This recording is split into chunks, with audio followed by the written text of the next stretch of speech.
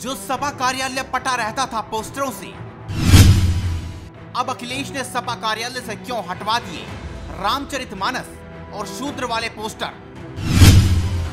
जानिए क्या है बड़ा कारण समाजवादी पार्टी प्रमुख अखिलेश यादव अब विवाद, बयानबाजी और धार्मिक मुद्दों पर अपने नेताओं के खिलाफ सख्त नज़र आ रहे हैं। इसका असर बीते दिनों पार्टी द्वारा जारी किए गए लेटर में भी दिखा।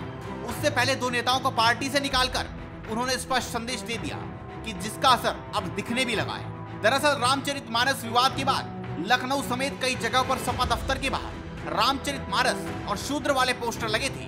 लेकिन इसके बाद शिवपाल सिंह यादव और रामगोपाल यादव ने स्वामी प्रसाद मौर्य के बयान से खुद को अलग कर लिया, जिसके बाद इसका असर अखिलेश यादव ने सख्त संदेश दिया। अब इसका असर साफ़ तौर पर दिखने लगा है। जब रामचरित मानस पर स्वामी प्रसाद मौर्य ने विवादित बयान दिया था, उसके बाद लखनऊ स्थित सपा कार्यालय के बाहर उनके समर्थन में पोस्टर लगाए गए थे। अगर हम ये कह रहे हैं कि भाई ये गाली हो सकता है उस समय दी गई हो, आज व्यवहारिक नहीं है, इसलिए इस अंश को प्रतिबंधित कर दिया जाए निकाल दिया जाए। हमने रामायण पर टीका टिप्पणी नहीं की। हमने किसी भगवान, किसी धर्म, राम पर टीका टिप्पणी नहीं की।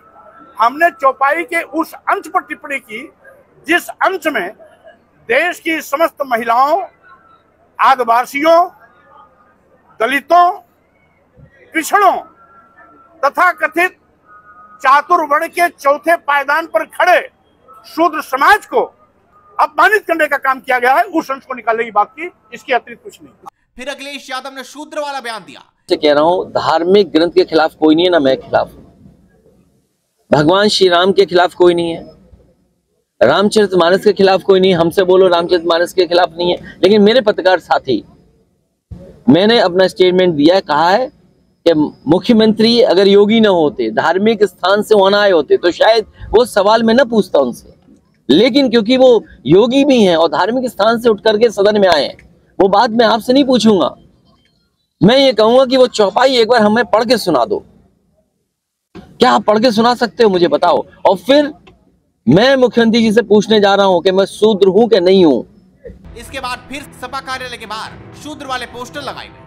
तब कई नेताओं ने अपने पोस्टर लगाए और नाम के आगे शूद्र लगा दिया। लेकिन अब बीते दिनों में अखिलेश यादव ने विवादों पर सख्त रुख दिखाया है। उन्होंने पहले दो नेताओं को पार्टी से बाहर का रास्ता दिखा दिया। इसके बाद एक पत्र जारी कर कार्यकर्ताओं और नेताओं को चेतावनी दे दी। उन्होंने सभी को धार्मिक मुद्दों पर बयानबाजी नहीं करने और इससे दूर रहने को कहा है। अब इसका असर लखनऊ के सपा दफ्तर पर भी देखने को मिला है। दफ्तर के बाहर से सभी नेताओं ने अपने पोस्टर हटा लिए। माना जा रहा है कि अखिलेश यादव के सख्त रुख को नेताओं के लिए नसीहत के तौर पर है। बता दें कि इस विवाद को लेकर सपा को विरोधी दल घेरने में लगे हुए थे, जिसके बाद से सपा ने वो पत्र जारी किया था। तो आप इस वीडियो पर अपनी राय दीजिए और जुड़े रहिए हेडलाइंस उत्तर प्रदेश के साथ।